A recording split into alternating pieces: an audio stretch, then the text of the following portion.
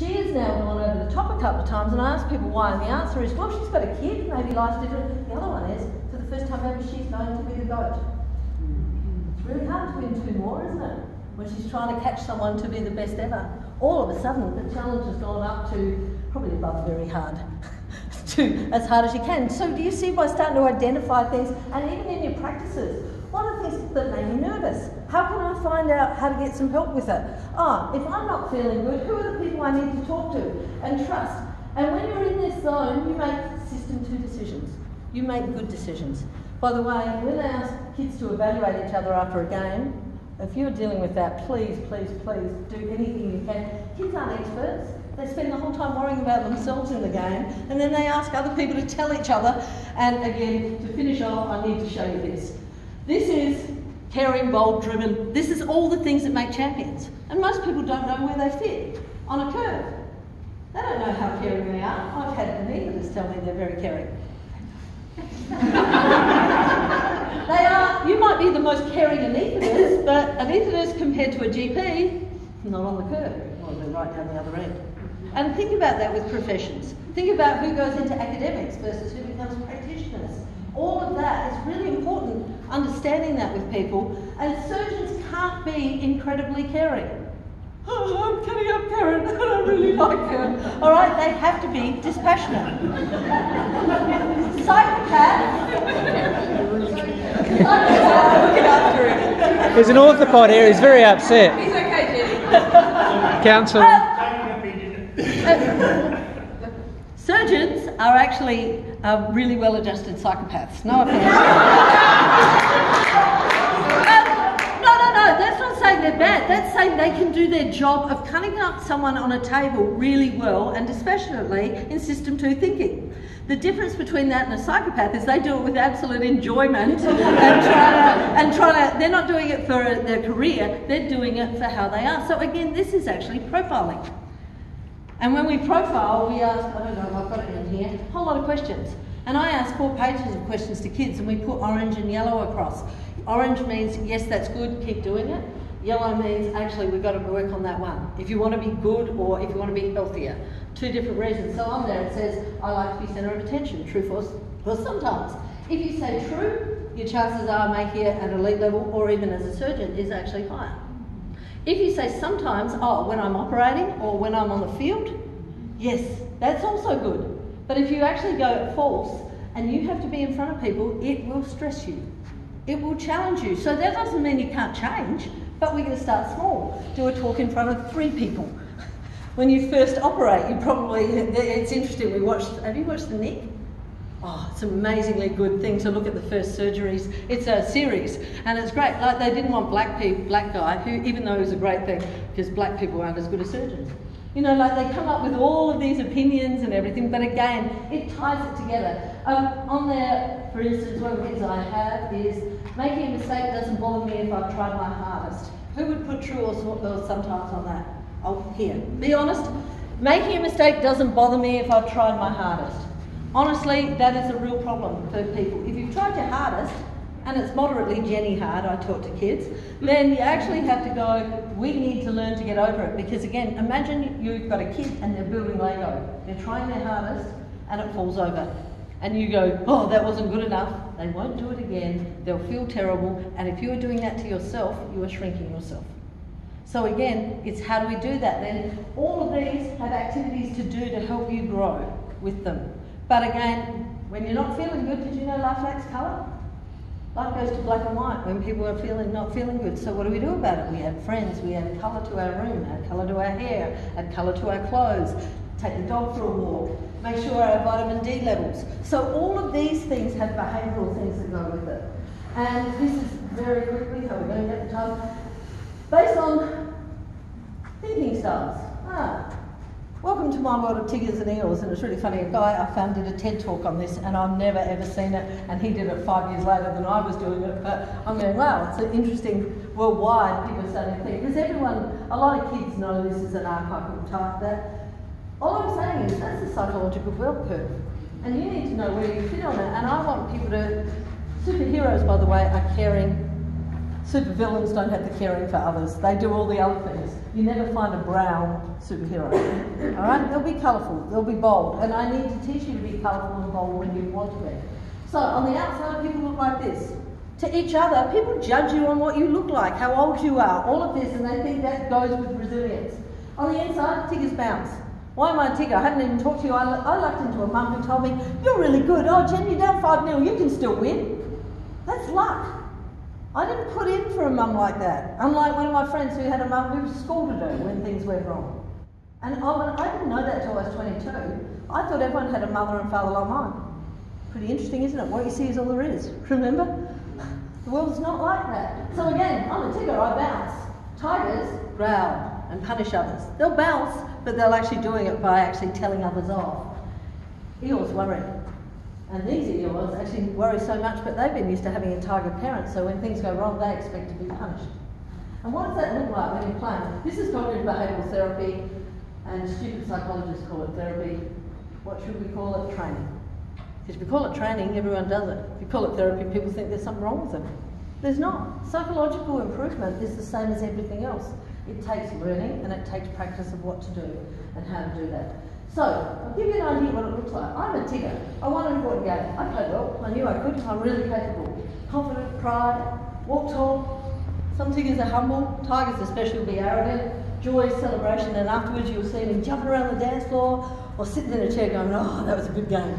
When I'm jumping on the dance floor, everyone goes, Jenny, drunk again. And then my friends go, Jenny doesn't drink. That's her. All right? I'm a tigger. I bounce. I don't need anything else. It's just out of how I've grown up, which is luck.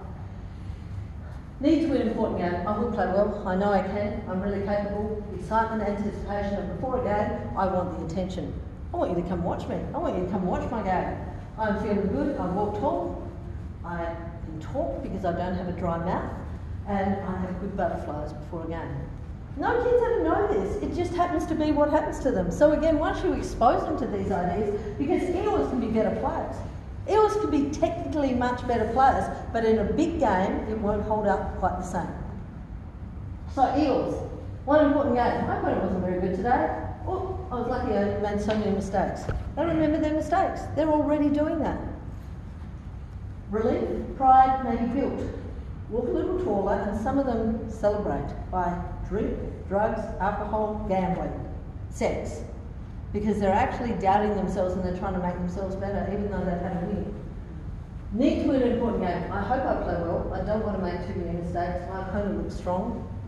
Oh, I hope they have a bad day. Fear, helplessness, dread, and look small. No talk, hide, heart racing, dry mouth, cold hands, nervous number ones, nervous number twos, and throwing up. Who's seen that in change rooms that they go into? You have got an anxious team. And here's the interesting thing if you have an anxious coach, you have a very, very anxious team. Coaches who go out of that flow zone take almost every player with them. So do anxious captains. So this is where it's really important we teach and they start to learn how to actually stay in it. First of all, by understanding that. Secondly, lost an important game. I played okay. We an off day. Conditions didn't suit us. We'll win next time. It was all, and Tigers, it was all your fault, Daddy. you played really badly. Um, what do we call those things? Parents tell kids not to make them all the time. Excuses. Excuses. Wrong. From now on, people are allowed to make excuses in your life, and you have permission to make an excuse. There's a reason for it in a second. Tigers and Tigers don't like losing. Still, it's just part of not liking losing, maybe agitated and angry. But next time you play them, we will get them today. And on there I've got, I am so much better prepared than I, I, am last time. And I give, every one of my athletes has a fridge magnet. And it says on it, one excuse, two new plans. So the excuse is to externalise it, the new plans, so that you get better next time. And one of the plans can just be get the next one. And the other one might be if you've missed a ground ball, get lower. Or if you missed a shot on goal, Annie, what could they do? Practice steady. Yeah, or but during a game, steady. I like that. Steady. Or maybe lift mm. or anything like that so that they actually start not worrying about what just happened but what they're going to do better next time. So one excuse, two new plans. They were lucky last game, they stick it up the media, they better be better this time. I'm back again, baby, I'm ready to play this week. We may have lost to them last time, but tough. They were terrible. We were just terrible, but we're ready. Now look at what I've written over the side. Rarely injured, because we want to be out there. We're not doubting ourselves. I'm back. I don't care if the coach tells me.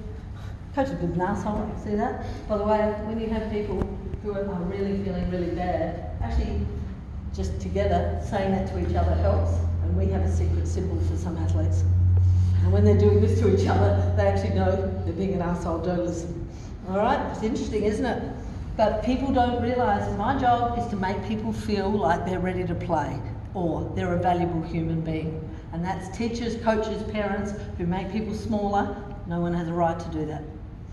So, they were lucky, excitement, want to be there, and by the way, it says there, tigers without empathy are tigers. Tigers can bite and destroy the confidence of others. Be very aware of them. Because these Eeyores can be the best. Lost in Borneo, my opponent's too good for me. I made so many mistakes, it was my fault. No one thinks I can play. Punish me, I deserve it. Make me do laps. Make me do this. Not making you better. It makes you very good at doing laps when you do laps, but it doesn't actually work on what you need to work on. Um, guilt, anger at themselves, and that despondency word is the worst. When kids or adults get to a stage where they feel like they can't control something, that is when we're starting to do the depression stuff, without a doubt. Withdraws, loses self confidence, and then, even when you're trying to say good things, because their heads are like this, nothing gets in. It gets stuck, and they can't remember instructions. When you are anxious, you forget what you're being told. When you're feeling bad, you don't remember things like your keys before you go to the dentist. All things like that, and this all works because it fits together. They drink, they have sex, they take drugs, or they gamble because they are actually doubting themselves. Now, imagine if you're a footballer and all anyone wants to talk to you about is football, and people have to write things in the paper all the time, and social media is going at you, even when you're t- being told to be resilient, you can't avoid it sometimes. And this is what's really bad because they start to go, I'm terrible. The answer is, once they learn from me, all of those people don't deserve an opinion. They haven't worked hard enough. It's easy to write anything on social media. They don't deserve it. They can write it, but they do not deserve to write anything about you because they do not know what, how hard you're working, what you're doing. So again, with that, next time we play them, my opponent's too good, I don't want to make mistakes, I was hopeless last time. Fear, dread, embarrassment, and they're back to not feeling good, dry mouth, cold hands, and in fact, over the side, they will be often injured, they won't recover quickly, and they will be reluctant to be out there. Because if you're going to be assessed on that and feeling terrible, what's the easiest place to be? I'm happy I'm on the bench. I'm happy I'm injured. And people go, We pay you a lot of money. And I'm going, It doesn't make any difference to how their head feels. So again, really important we start to put all this together. And as I put there, Tigger, this is me probably, playing seven, eight, nine, nine. In a big game, uh, when the challenge is high, because I'm psychologically a nine, my seven and eight will be a seven and eight. And I will actually make you better and you better. So you want me in the team because I'm going to help someone else. But if you have Eeyores, 10, 9, but they're 3. They're doubting themselves in a big game. As the challenge goes up, they get anxious and they don't know what to do about it. So that all goes there. So these are all the things that I would teach. There is so much to learn, but boredom, music, fun, coffee, competition, pain, you came up with them all. Kids do too, but no one ever challenges them, what are we going to do about it? Flow, we said we can be in there. You do not have a set in your teams, banger songs. They have to be songs you love, I love, he loves, we all love. That we go, when we hear them, yeah, we're here. Not too fast. Heart and head have to match. If they have songs going, and when people, by the way, are sad, sad or bored, they listen to Woe is me, life is terrible songs, and it makes them feel worse. So again, the banger stuff, my group who are angry or anxious have to listen to 1323 Cruise Radio. Sponsored by them. And I actually had one guy write on Facebook one day, I went past these guys listening to this and I'm going, yeah, they even start doing secret sound and going on with things like that. So very quickly, oh, but by the way, very quickly, I teach breathing with numbers and why to do it because it occupies your head when you're doing that. Um, music, preparation, uh, lemon changes the taste in your mouth. I would do a whole visualization with lemon and kids can get their mouth to water. Well, when your mouth is sucking it out, just having Powerade or it's got to be something that's tangy like soft drink or that, that actually makes their mouth go, hmm. They don't have to drink it, but they spit it out. It actually tells your brain you're feeling better. So there's all this psychological stuff that you can use. Visualization before you go bed. Every one of my athletes have a heart rate monitor. Um, when they're doing the breathing, I make them, if we were doing that now, you'd all have to sit up or do five, ten star jumps, and we practice the breathing by getting your heart rate up when we're not anxious, when we're doing activity, and then bringing it down. Ah, do it again. So every night before you go to bed, ah, with your mum, and then you practice to be calm. We both have a heart rate monitor. We have to do 50 things. First one to get the heart rate back down again by doing that. So we practice that. Um, and um, one excuse, two new plans. All of this makes a difference. You can really help people quickly, but most people don't even know it exists. Um, I took this the other day. This is our uh, gym at home.